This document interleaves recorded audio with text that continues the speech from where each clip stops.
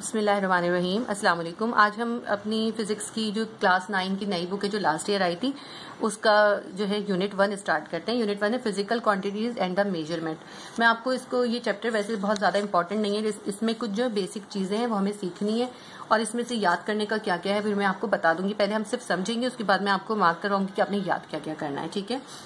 सबसे पहले हम पढ़ते हैं फिजिक्स क्या है? What is physics physics is the branch of science which observe the nature ठीक है? फिजिक्स ऐसी ब्रांच है साइंस की जो पहले ऑब्ज़र्व करती है नेचर को रिप्रेजेंट इट मैथमेटिकली फिर उसके बाद उसको मैथमेटिकली रिप्रेजेंट भी करती है एंड कंक्लूड विद एक्सपेरिमेंट और उसको साबित करती है एक्सपेरिमेंट से। ठीक है? Physics is called the mother of all science ठीक है? It is considered as the mother of all sciences ये एक ब्लैंक भी आ जाती है बीच में। ठीक है?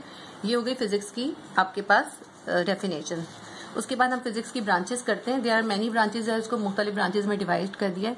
सबसे पहले पढ़ते हैं मैकेनिक्स दिस ब्रांच इसमें आपको सारी फिजिक्स की ब्रांच करनी है फिजिक्स की ये डेफिनेशन करनी है.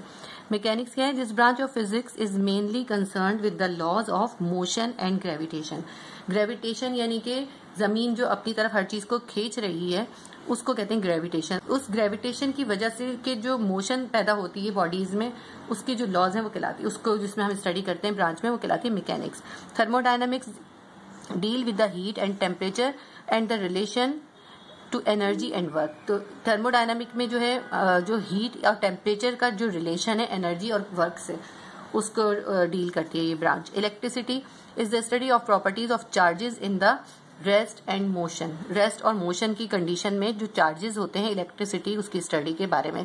चार्जेस कौन से होते हैं? ये पॉजिटिव और नेगेटिव चार्जेस होते हैं इलेक्ट्रिसिटी में। ये जब हम पढ़ेंगे इलेक्ट्रिसिटी का चैप्टर ये जब समझ में आएगा। Magnetism is the study of the magnetic properties of the material कुछ जो ऐसी प्रॉपर ऐसी मटेरियल्स हैं जिनमें मैग्नेटिक प्रॉपर्टीज़ पाई जाती हैं, जो कुछ चीज़ों को अपनी तरफ़ खींचते हैं। उसके बारे में जब हम पढ़ते हैं, वो कहलाती है ब्रांच उसकी magnetism. Atomic physics atomic physics deal with the composition structure and properties of the atom atomic physics पूरे एटम का पूरा कॉम्पोजिशन बताते हैं कि एटम कैसे बना है स्ट्रक्चर क्या है, उसकी प्रॉपर्टीज़ क्या है। फिर हम पढ़ते हैं optics studies of physical aspects of light and its properties with the help of optical instrument जो इसमें हम, फिजिक्स में ये वो ब्रांच है, जिसमें लाइट और उसकी प्रॉपर्टीज़ के बारे में पढ़ते हैं हम, ठीक है? With the help of optical instrument इसके लिए जो इंस्ट्रूमेंट यूज़ होते हैं ऑप्टिकल इंस्ट्रूमेंट यूज़ होते हैं sound sound is the study of the production properties in application of sound waves nuclear physics इसमें ये इंपॉर्टेंट है न्यूक्लियर फिजिक्स और पीछे ये वाली भी इंपॉर्टेंट थी एटॉमिक फिजिक्स ठीक है? मैकेनिक्स थर्मोडाइनमिक्स और एटॉमिक फिजिक्स उसके बाद जो है, समझनी सब है, याद बस इतनी काफ़ी हो जाएँगी। Nuclear physics deal with the constituents structure behaviour and interactions of atomic nuclear nuclear physics जो है, जो किसी भी एटम के न्यूक्लियस से का जो स्ट्रक्चर है और उसका इंटरेक्शन है दूसरी चीज़ों के साथ, उसका जो बिहेवियर है, उसके बारे में न्यूक्लियर फिजिक्स में पढ़ते हैं। Particle physics particle physics studies the elementary constituents of matter particle physics में जो किसी भी मैटर के जो खास अलग अलग उसके पार्ट्स होते हैं कॉन्स्टिट्यूएंट मतलब पार्ट्स होते हैं, उसके बारे में पढ़ते हैं एंड रेडिएशन उनसे जो रेडिएशन होती है, उसका भी रिलेशन पढ़ते हैं and the interaction between them इनका आपस में जो इंट्रेक्शन होता है, उनके पार्टिकल्स का और रेडिएशन का, वो हम स्टडी करते हैं पार्टिकल फिजिक्स में। Astrophysics the study of celestial objects with the help of laws of physics known as astrophysics ठीक है फिजिक्स के लॉज के हिसाब से जो ऑब्जेक्ट्स जो हमारी ज़मीन के बाहर ऑब्जेक्ट्स हैं उसको उसके बारे में जो स्टडी होती है, वो कहलाती है astrophysics plasma physics the study of ionise states of matter and its properties known as plasma physics plasma क्या है? इसी किताब में हम आगे पढ़ेंगे इनशाला ताला. Geophysics the study of internal structure of earth is known as geophysics जो अर्थ का इंटरनल स्ट्रक्चर है, उसके बारे में स्टडी जियो फिजिक्स में होती है. ये सारी इसके अंदर हम इम्पोर्टेंट में लगाएँगे, ठीक है? अब ये सारी ब्रांचेस को आपने जिसमें मैंने मार्क किया है, वो सबको याद करना है. आगे चलते हैं हम. What is a physical quantity ठीक है? A physical quantity is the physical property of the phenomena body और सब्सटेंस किसी भी बॉडी का, किसी चीज़ का एक फ़िज़िकल फिनोमिना जो होता है, उसकी फ़िज़िकल क्वांटिटी कहलाती है। ठीक है? That can be quantified by measurement जिसको हम मेजर कर सकते हो। ठीक है? किसी भी बॉडी का, किसी सब्सटेंस का जो मेजर करने के काबिल जो उसकी उसकी क्वांटिटी को जो मेजर करने की कर सकते हैं, जिस चीज़ को वो उसकी फ़िज़िकल क्वांटिटी कहलाती है। फ़िज़िकल क्वांटिटी जो है वो दो तरह की है। It is classified into two categories number one fundamental quantities number two derived physical quantities ठीक है? इसमें यह सवाल है इंपॉर्टेंट और ये करना है, पूरा सवाल। फ़िज़िकल क्वांटिटीज की डेफिनेशन उसकी टाइप्स अब पढ़ते हैं पहली फंडामेंटल क्वांटिटीज फंडामेंटल क्वांटिटीज क्या होती हैं? तो physical quantities which cannot be explain by the physical quantity other physical quantities are called fundamental physical quantities ये वो बेसिक फंडामेंटल क्वांटिटीज हैं बेसिक फ़िज़िकल क्वांटिटीज हैं जो किसी दूसरी फ़िज़िकल क्वांटिटी से हम एक्सप्लेन नहीं कर सकते. ये खुद अपने आप को एक्सप्लेन करती है, किसी दूसरी और किसी दूसरी फ़िज़िकल क्वांटिटी से इनको एक्सप्लेन नहीं किया जा सकता। वो फंडामेंटल क्वांटिटीज कहलाती हैं। इसकी एग्ज़ाम्पल मैं आपको बताती हूँ। इसकी एग्ज़ाम्पल है हमारे पास ये दी हुई है फंडामेंटल क्वांटिटीज लेंथ है, जिसे लेंथ को हम मीटर में मेजर करते हैं। इसकी सिंबल जो स्मॉल है, इसी तरह मास है, उसको किलोग्राम में करते हैं। के जी इसके सिंबल है टाइम को सेकेंड में करते हैं, ठीक है? और करंट को एम्पेयर में करते हैं। ए होता है कैपिटल ए टेम्परेचर को कैलविन में करते हैं हमेशा। इसका होता है के इसी तरह हम देखें तो अमाउंट ऑफ़ सब्सटेंस किसी भी चीज़ में कितनी अमाउंट ऑफ़ सब्सटेंस उसको मोल में करते हैं। ठीक है? ल्यूमियस इंटेंसिटी कोई चीज़ कितनी चमक सकती है, उसकी चमकने की क्या इंटेंसिटी है, उसको कैंडेला में करते हैं। ठीक? ये तो सारी होगी फंडामेंटल क्वांटिटीज अब दूसरी क्वांटिटीज आते हैं, जो तीन क्या आती हैं ड्राइव फ़िज़िकल क्वांटिटीज तो physical quantities which are explain on the basis of the fundamental physics quantities इन्हीं फंडामेंटल फिजिक्स क्वांटिटीज की बेस के ऊपर उनके ज़रिए हम जो दूसरी क्वांटिटीज को डिस्क्राइब कर सकते हैं या उनके ज़रिए वो एक्सप्लेन की जा सकती हैं, वो होती हैं ड्राइव फंडामेंटल क्वांटिटीज ये इन्हीं से ड्राइव की जाती हैं, ठीक है? इनका असल में बेस इधर से ही होती है। जैसे ये तो अपने आप खुद होती है ना किसी दूसरे से रिलेट नहीं करती, लेकिन ये जो होती हैं, ये ये रिलेट करती हैं, इन फंडामेंटल क्वांटिटीज से ही मिलके बनती हैं। ठीक, दोबारा पढ़ लेते हैं। Physical quantities which are explain on the basis of fundamental physical quantities ठीक है? ये एक्सप्लेन करी जा सकती हैं किसकी बेस पे? फंडामेंटल क्वांटिटीज की बेस पे are called derived physical quantities इसकी एग्ज़ाम्पल हम देते हैं, जैसे कि विलोसिटी है। विलोसिटी की क्या होती है? मीटर पर second m by s metre जो है, हमने देखा मीटर भी इसमें है, ये रहा मीटर लेंथ का मीटर, ठीक है? और metre by divided by second और सेकंड दोनों जो है फंडामेंटल इसके अंदर यूज़ हुई है, ठीक है? दो फंडामेंटल क्वांटिटीज को मिला के जब एक नई क्वांटिटी बनती है, उसे कहते हैं ड्राइव क्वांटिटी इसी तरह हम देखते हैं डेंसिटी डेंसिटी की क्या होती है? किलोग्राम पर मीटर क्यूब यानी किलोग्राम भी ये रही बेसिक में और मीटर भी इसमें है. मीटर क्यूब का मतलब होता है वॉल्यूम होता है, इसलिए क्यूब आ जाता है इसके ऊपर. एक्सेलरेशन है, इसकी होती है मीटर पर स्क्वायर मीटर लेंथ की हो जाती है और स्क्वायर जो है एस स्क्वायर जो है वो किसकी है? सेकंड के स्क्वायर है. इस वॉल्यूम का है metre cube metre three times हो जाएगा, ठीक? इसी तरह वेलोसिटी का है मीटर पर सेकंड फोर्स का है न्यूटन डेंसिटी का है किलोग्राम पर मीटर एक्सेलरेशन का है मीटर पर सेकंड स्क्वायर ये हो गई ड्राइव क्वांटिटीज सही? ये हो गई हमारी क्वांटिटीज उसके बाद आगे हम देखते हैं, थोड़ी बहुत आगे हम चीज़ें देखते हैं कि लेंथ वगैरह यूज़ करने के लिए हम क्या चीज़ यूज़ करते हैं? मीटर रूल यूज़ करते हैं। Metre rule is use is a device which is use to to measure the length of different object सही? मुख्तलिफ़ ऑब्जेक्ट्स का लेंथ मालूम करने के लिए जो चीज़ यूज़ होती है वो कहलाता है metre rule page number seven पे आ गए अब हम आगे चलते हैं। अब एक जो एक चीज़ है वर्नियर कैलिपर जिसकी शक्ल इस तरह की होती है। ये देखिए ठीक है? जिस भी ऑब्जेक्ट का हमें मालूम करना होता है ना सही एक, बिल्कुल एक्यूरेट हमें इसका मालूम करना होता है उसकी मेजर करना होता है तो उसको हम इसके यहाँ ये जो जॉज हैं इसके बीच में लगा देते हैं और फिर इसको टाइट कर देते हैं। What is vernier calliper the vernier calliper is a precision instrument that can be use to measure internal and external distance extremely accurate किसी भी चीज़ का इंटरनल और एक्सटर्नल दोनों तरह के डिस्टेंस मालूम करने के लिए जो एक इंस्ट्रूमेंट यूज़ होता है, बिल्कुल एक्यूरेट डिस्टेंस के लिए वो कहलाता है वर्नियर कैलिपर वर्नियर कैलिपर का जो लीस्ट काउंट होता है, वो पॉइंट वन होता है, ठीक है? पॉइंट वन इसका लीस्ट काउंट होता है। नहीं है बस ये लीस्ट काउंट और ये इसकी थोड़ी सी डेफिनेशन कर लें। उसके बाद आ जाती है माइक्रोमीटर या स्क्रू गेज स्क्रू गेज जो है, ये extensively use in engineering field ये ज़्यादातर किसमें यूज़ होता है? इंजीनियरिंग फ़ील्ड में यूज़ होता है। फॉर ऑप्टेनिंग प्रेसिशन मेज़रमेंट बिल्कुल खास मेज़रमेंट के लिए। Micrometer screw gauge is use for measuring extremely small dimensions ठीक है? ये किस लिए यूज़ होता है? बहुत छोटी सी डायमेंशन को मालूम करने के लिए। इसका लीस्ट काउंट क्या होता है? इसका लीस्ट काउंट होता है point double zero one m m ठीक है? Point double zero one m m आगे चलते हैं। इस पे भी हमें कोई खास याद करने का नहीं फिर भी थोड़ा सा समझ लेते हैं। इसका जो है, देखिए, एक स्केल आपको इधर नज़र आएगा और एक इधर। इसको क्लोज में यहाँ पर दिखाया हुआ है। ये इसका जो है, ये वाला एक स्केल है और एक ये स्केल है। ठीक है? दोनों स्केल्स जब हम इसके यहाँ बीच में चीज़ लगाते हैं और स्केल को यहाँ से ऐसे घुमा के रोटेट करके टाइट करते हैं। तो जहाँ पे ये दोनों रीडिंग्स कंसाइड कर हैं, एक ये रीडिंग और एक ये रीडिंग दोनों रीडिंग जहाँ कंसाइड कर थी वो रीडिंग नोट कर लेते हैं। इसका भी शायद प्रैक्टिकल हो आप लोगों का। The standard of mass mass का स्टैंडर्ड यूनिट क्या है? किलोग्राम ये हम पीछे पढ़ के आए। फिर हम आगे चलते हैं। फ़िज़िकल बैलेंस है। फ़िज़िकल बैलेंस क्या चीज़ है? The physical balance is an instrument use for the measurement of mass mass मालूम करने के लिए किसी भी चीज़ का हम फ़िज़िकल बैलेंस यूज़ करते हैं। देखिए, इस तरह का होता है इसके भी आपके प्रैक्टिकल होंगे दो तीन। इसमें भी हमें कुछ भी करने की ज़रूरत नहीं है। आप ये ना सोचे कि मैं बहुत सारी चीज़ें बिलावजह छुड़वा रही हूँ कि ज़्यादा ऐसा चैप्टर नहीं होता जिसमें हमें बहुत ज़्यादा पढ़ना होता है। हमें आगे बहुत इंपॉर्टेंट चैप्टर आएँगे जिसमें बहुत सारा कुछ करना है। डेरिवेशन से ये सिर्फ़ बेसिक है। इलेक्ट्रॉनिक बैलेंस इलेक्ट्रॉनिक बैलेंस जो होता है it is a digital mass meter ये जो मास uh, मालूम करने के लिए डिजिटल मीटर होता है ना जिसे हम जिसको वेट के लिए भी यूज़ करते हैं वेट मशीन के लिए वो इलेक्ट्रॉनिक बैलेंस कहलाता है। उसके बाद है स्टैंडर्ड टाइम क्या चीज़ है? स्टैंडर्ड टाइम के लिए सीजियम यूज़ होता है। सीजियम क्या है? सीजियम जो है एक आइसोटोप है। सीजियम का आइसोटोप 133 यूज़ होता है। The second is now defined as nine one nine two six three one double seven zero times the period of vibration of radiation from the caesium atom जब caesium atom से इतनी सारी vibration जितनी देर में होती है, वो उसको एक सेकंड कहते हैं, ठीक है? वो कहलाता है एक सेकंड ये भी एक इंपॉर्टेंट चीज़ है ब्लैंक भी आ सकती है और बहुत अच्छी समझने वाली चीज़ है ये, ठीक? स्टॉप वॉच क्या चीज़ है?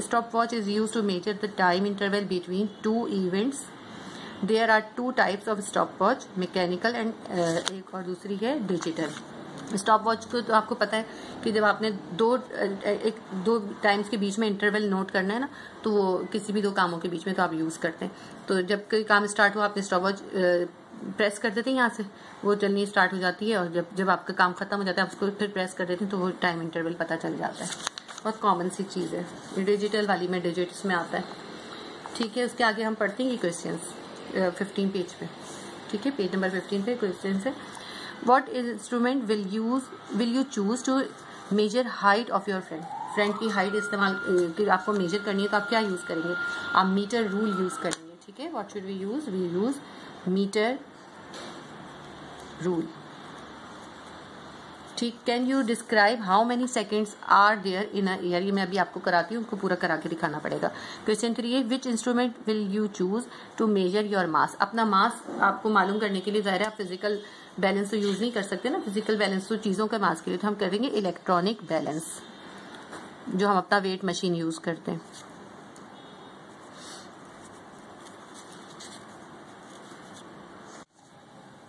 क्वेश्चन टू था can you describe how many seconds are there in a year तो सबसे पहले हम इसका कन्वर्जन करना शुरू करते हैं।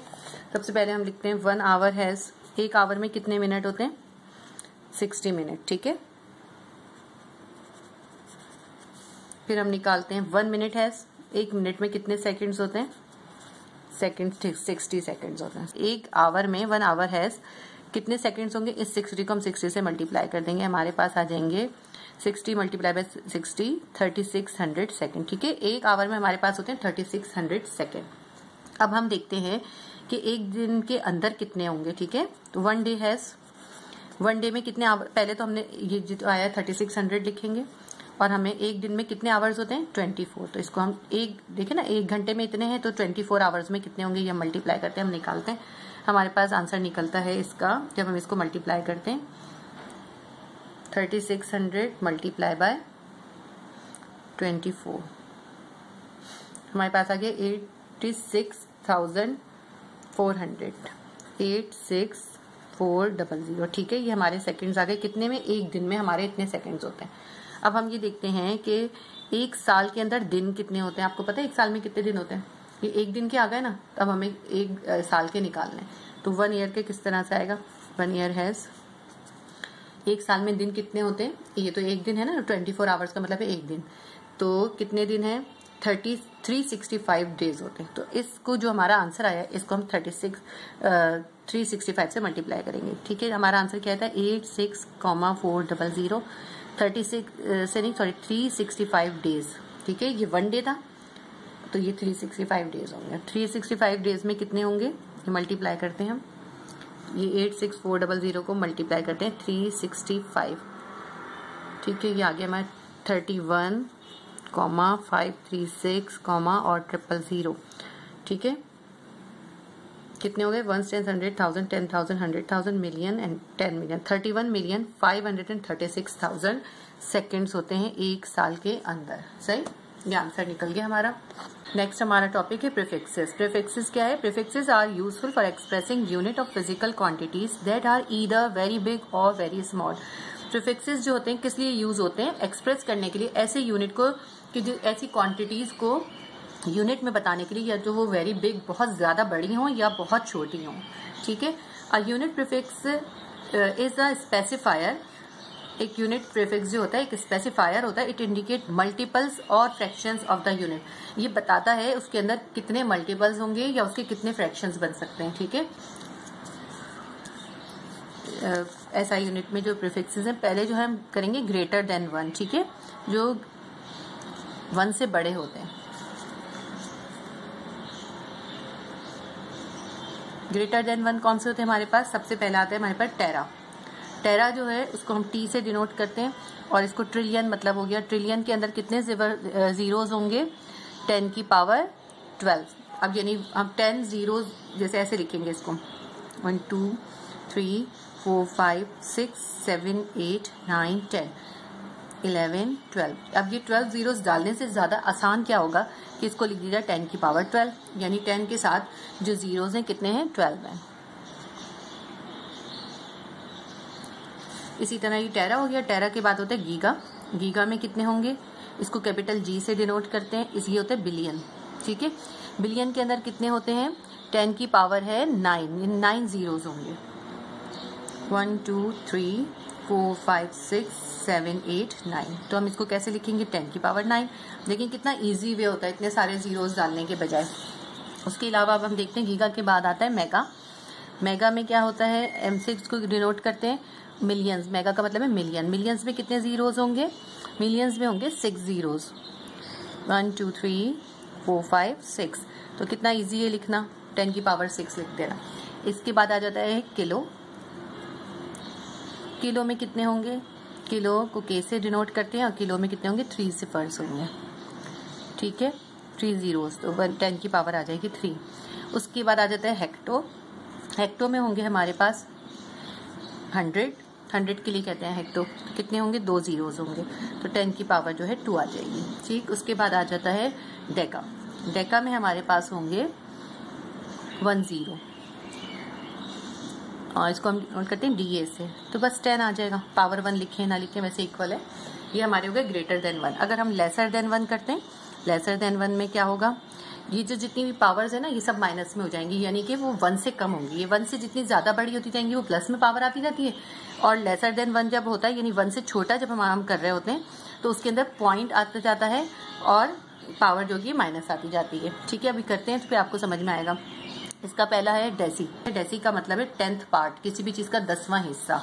दसवें हिस्से को जो है हम कभी भी वन वन टेंथ लिखने का मतलब है वन पॉइंट वन, ठीक है ना? पॉइंट वन का क्या अगर हम बनाते हैं साइंटिफिक फॉर्म में तो इस पॉइंट को हम आगे लेके जाते हैं तो कितने पॉइंट आगे जाएगा? वन पॉइंट तो इसलिए कितना आ जाएगा? Minus one. ये क्यों माइनस वन आया है? क्योंकि इसको वन करने के लिए हमें एक नंबर आगे जाना पड़ेगा। जब आगे जाते हैं तो माइनस वन ही आएगा। जितने नंबर आगे जाएँगे, उतनी पावर आती जाएगी। इसमें हम वन को भी काउंट करेंगे। जब हम लेस देन वन कर रहे होते हैं तो वन को भी काउंट करते हैं। उसके बाद आता है सेंटी सेंटी का मतलब है हंड्रेड हिस्सा, किसी भी चीज़ का हंड्रेड हंड्रेड वन हिस्सा। पॉइंट ज़ीरो वन बन जाएगा इसका, ठीक है? क्योंकि दो पॉइंट आगे जाएगा तो कितना आ जाएगा? टेन की पावर माइनस टू मिली देखते हैं स्मॉल एम से ज़ाहिर करते हैं, इसके अंदर आ जाएगा पॉइंट डबल ज़ीरो वन यानी कि टेन की पावर माइनस थ्री उसमें प्लस थ्री था, इसमें माइनस थ्री हो जाएगा। उसमें मेरी को मेगा था मिलियंस इसमें आ जाएगा, फिर आप कहते हैं माइक्रो माइक्रो का के लिए ये वाला एक फिगर बनता है माइक्रो को इसको म्यू भी बोलते हैं। इसमें आ जाते हैं माइक्रो के अंदर फाइव जीरोज आएँगे। One two three four five और फिर वन जब फाइव जीरोज आ गए एक वन को भी काउंट करेंगे तो टेन की पावर माइनस सिक्स ठीक है? नैनो के अंदर आएँगे हमारे पास एट जीरोज और पावर आएगी minus nine one two three four five six seven eight और ये वन ये हो गया नाइन डिजिट हो गया अब टेन की पावर माइनस नाइन आ जाएगी. पीको के अंदर जो है ज़ीरो पॉइंट वन इसके अंदर पीको के अंदर आएँगे. ये है हमारा आ, कौन सा हिस्सा? ट्रिलियंथ हिस्सा किसी भी चीज़ का ट्रिलियंथ हिस्सा. तो इसके अंदर आ जाएगा हमारे पास माइनस ट्वेल्व इसकी पावर आएगी तो हम कितने ज़ीरो डालेंगे? इलेवन ज़ीरो डालेंगे। One two three four five six seven eight nine ten eleven और उसके बाद वन ठीक है? वन भी इसमें काउंट हो जाएगा। ये बन जाएगी टेन की पावर माइनस ट्वेल्व